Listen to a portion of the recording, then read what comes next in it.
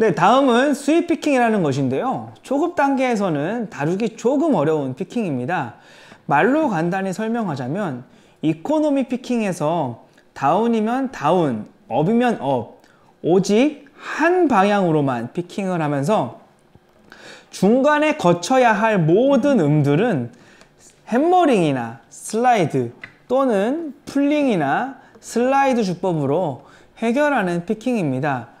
이렇게 다운만 이렇게 하면은 그 중간에 눌러야 하는 모든 음들은 hä머링이나 이렇게 슬라이드 주법으로 해결을 해야 하고 어피킹을 할 경우에 이런 풀링 주법이나 이렇게 슬라이드 주법으로 해결을 해서 마치 오른손만 보면 다운만 하고 있는 것처럼 또 이렇게 업만 하고 있는 것처럼 보이게 하는 주법입니다. 간단하게 하자면 뭐 이런 겁니다.